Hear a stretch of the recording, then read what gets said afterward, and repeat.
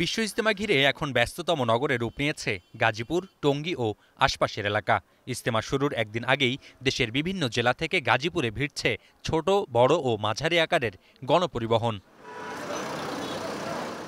জামালপুর, টাঙ্গাইল, ফরিদপুর, মুন্সীগঞ্জ, মানিকগঞ্জ, নারায়ণগঞ্জ সহ বিভিন্ন জেলার মুসল্লিরা আসছেন বাসে চেপে।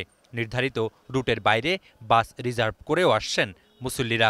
বিভিন্ন জায়গাতে দেখলাম যে, আলহামদুলিল্লাহ, এত পরিমাণ লোকে এসে গেছে যে, আশা করা যাচ্ছে যে, বিকেল পর্যন্ত পুরো মাঠ ভরে যাবে। আল্লাহ কাছে অনেক শুক্রিয়া জ্ঞাপন করছি যে বিশেষ ইজতেমা চালু হয়েছে। তো ইনশাল্লাহ এবার অতিরিক্ত লোক হবে ইনশাল্লাহ বেশি কারণ সবার মনে তামান্না যে দুই বছর আসতে পারিনি ইস্তেমা ইজতেমা। তুরাগতির ইজতেমা ময়দানের দেড় থেকে তিন কিলোমিটার দূরেই বাস ট্রাক পিকআপ সহ বড় যানবাহনকে থামতে হচ্ছে। এক্ষেত্রে মুসল্লিদের ভরসা ইজিবাইক রিক্সা ও ভ্যান অন্য সময়ে প্রতিদিন পাঁচ থেকে সাতশো টাকা রোজগার হলেও এখন আয় বারোশো থেকে দেড় হাজারের বেশি। সঙ্গে যোগ হচ্ছে মুসল্লিদের দেয়া বকশিস। ওনারাও একটু সাশ্রয় হয় আমরাও কিছু ইনভেস্ট কিছু টাকা পাওয়া যায় আপনার এই জায়গায় আসতে আমার দামরাই থেকে আনুমানিক পঁয়ত্রিশশো চার হাজার টাকা ভাড়া লাগতো। আনুমানিক তিন চার দিন করলে বিশ পঁচিশ হাজার। প্রতিদিন হাজার হাজার বারোশো গান করি। ইনকাম পনেরোশো। তিন চার দিনে মনে করেন যে চার হাজার পাঁচ হাজার করে কামাই হবে।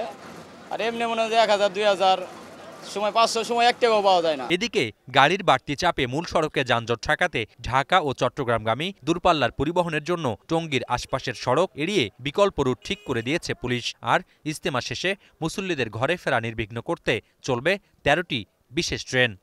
ইস্তেমায় আগত মুসল্লিদের মোনাজাতের জন্য আমাদের রেল কর্তৃপক্ষ যাত্রীদের নিরাপদে গন্তব্যে পৌঁছানোর জন্য নিয়মিত ট্রেনের পাশাপাশি তেরো জোড়া স্পেশাল ট্রেন চালু করা হয়। আখেরি মোনাজাতে প্রচুর ধর্মপ্রাণ মুসল্লি মুসল্লিরা মোনাজাতে অংশগ্রহণ করে। আমরা সেক্ষেত্রে টঙ্গী থেকে বগুড়া বাইপাস পর্যন্ত এই রোডটা আমরা অফ করে দিয়েছি। সার্বিক আইন শৃঙ্খলা পরিস্থিতি দেখতে সকালে ইজতেমা মাঠে আসেন পুলিশ মহাপরিদর্শক। বলেন ইজতেমা সফল করতে নেওয়া হয়েছে সব প্রস্তুতি। এই ইস্তেমা অনুষ্ঠানের যেভাবে নিরাপত্তা দিয়েছি সকলে মিলে মুসল্লিদের জন্য সুষ্ঠু ব্যবস্থাপনার মাধ্যমে যেভাবে আমরা সকলকে সহযোগিতা করতে পেরেছি। আল্লাহর ইচ্ছায় এবারও আমরা সফলভাবে ইস্তেমার এই অনুষ্ঠান আমরা সম্পন্ন করতে সক্ষম হব।